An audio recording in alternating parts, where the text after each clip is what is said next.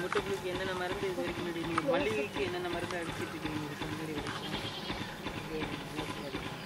லைட்டாகவே தெரிய மாட்டாங்க தலைவுக்கு வந்து எக்ஸோட சில தலைவுக்கு அடிப்பீங்க.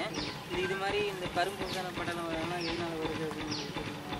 இது வந்து இந்த இந்த இது சிலந்தி இருக்கும் கரு சிலந்தி வந்து அதிகமாக இருக்கும். அப்புறம் இந்த வெள்ளை வெளியே பறக்குல வெள்ளை ஈ இந்த வெள்ளை ஈ நல்ல மற்றும் மல்லிகள் அதிகமாக இருக்கும்.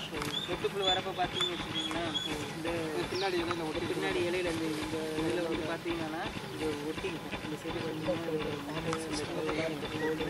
அடிப்பகுதி மட்டும் நல்லா பறந்து அப்படியே பறக்கும் அதோட கூட்டுக்கு பருவம் அடியில் தான் இருக்கும் கிளைக்கு அடிப்படும். அதான் எந்த ஒரு மருந்து அடிக்கிறது மேலே அடிக்கக்கூடாது அடியில் அடியில் அடிக்கும் தான் பயிர் அப்படின்னு சொல்லிட்டு இப்போ இப்போ எவ்வளோ நான் இந்த இப்போ ஒரு நாளைக்கு எவ்வளோ எடுத்துட்டு இருக்கேன்